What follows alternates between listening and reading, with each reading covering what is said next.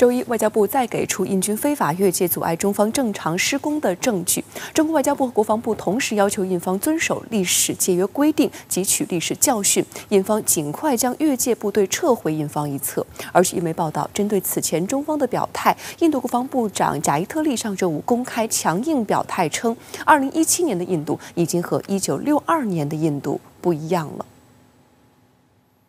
周一，外交部例行记者会上，发言人耿爽再次就印军越界事件进行回应，表示，印方此次行为性质比以往更为严重。此次印军越界事件发生在中印边界西金段已定的边界，与以往双方边防部队在未定界地区的边境摩擦对峙有本质不同。让中印边界西金段已由1890年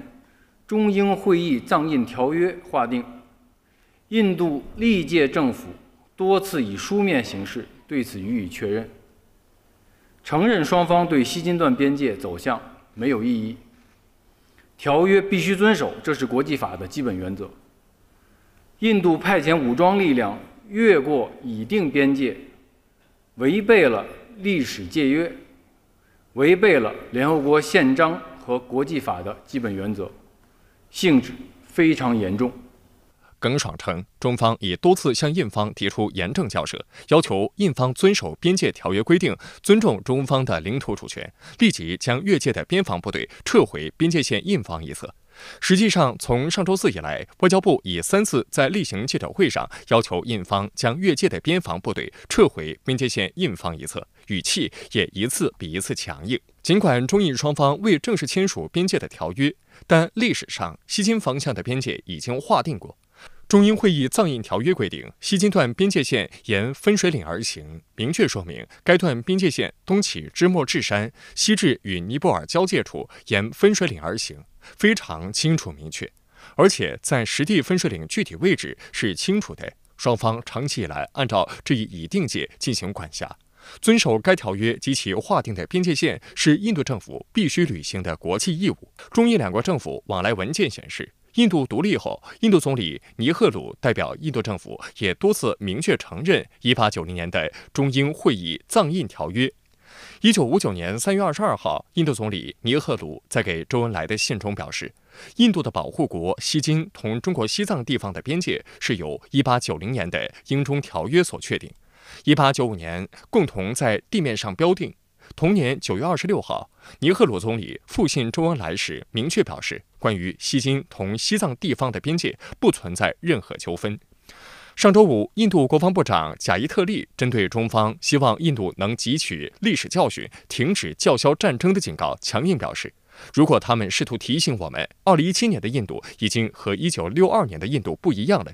一九六二年的中印边境自卫反击战，印度惨败。中印边界问题呢？我个人认为，不是印度的一张牌，而是印度军队的一张牌。军队想用这张牌，在印度政府那里，在印度国会那里，多弄一点自己的军费，进一步扩大自己的力量。那么这件事情呢，对印度军队来讲，好像是一件好事。贾伊特里还称，目前的对峙是由中方引发的。而且，不丹声称争议地区属不丹。根据印度和不丹的协议，印方应确保此地安全。分析指出，杜朗地区的战略意义不言而喻，因此印度一向视解放军在这一区域的部署为威胁。直到现在，印度方面自己设定的作战设想都担心解放军会从这里经过西金南下。不丹的声明里完全没有提到需要印度出面，也没有说和印度磋商过。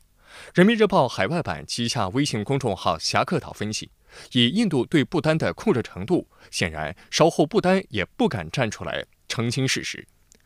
耿爽表示，中方对印度同不丹之间保持正常的双边关系不持异议，但我们坚决反对印方以维护不丹利益为借口，为其越界侵犯中国领土证明。据中方了解，对于印边防部队越界进入洞朗地区，不丹方面事先并不知情，这与印方所说的情况并不一致。对不丹来说的话，我想长期以来，他实际上生活在呃印度的这种这个羽翼之下，所以他的所谓政治经济，甚至他整个一个王室的这些这个生活，无处不在的跟印度有密切的联系。印度对他掌控的话也是非常严密的。